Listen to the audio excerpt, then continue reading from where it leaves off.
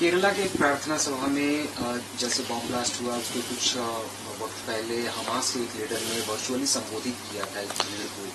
क्या कनेक्शन देखते हैं केरल की ब्लास्ट की घटना निंदनीय है, घोर निंदनीय है। वर्षों से वहाँ कांग्रेस और लेफ़्ट की सरकारों ने ऐसी शक्तियों को पाला, महामंडित किया, शरण दी और आज वहाँ आंतक जैसे हालात हैं, ये देश के लिए और केरल की जनता के लिए चिंता का विषय है। पर इतनी बड़ी घटना, लेफ़्ट की पार्टियाँ और केरल के सांसद राहुल गांधी के रहस्य में चुप्पी है, ये क्या इशारा कर रही है? दो दिन पहले हमास के एक नेता द्वारा वर्चुअली केरल को संबोधित किया गया, क्या ये कांग्रेस और कांग्रेस और केरल की वामपंथी पार्टियों का स्पोर्ट था उनकी स्वीकृति थी या निष्फलता और नाकामी थी।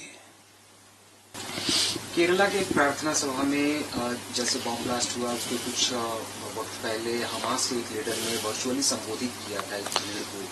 क्या कनेक्शन देखते हैं घटना केरल की ब्लास्ट की घटना निंदनीय है घोर निंदनीय है। वर्षों से वहाँ कांग्रेस और लेफ़्ट की सरकारों ने ऐसी शक्तियों को पाला, महामंडित किया, शरण दी और आज वहाँ आंतक जैसे हालात हैं, ये देश के लिए और केरल की जनता के लिए चिंता का विषय है।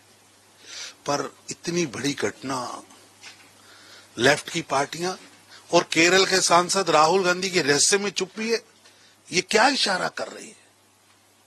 दो दिन पहले हमास के एक नेता द्वारा वर्चुअली केरल को संबोधित किया गया, क्या ये कांग्रेस और कांग्रेस और केरल की वामपंथी पार्टियों का स्पोर्ट था? उनकी स्वीकृति थी या निष्फलता और नाकामी थी?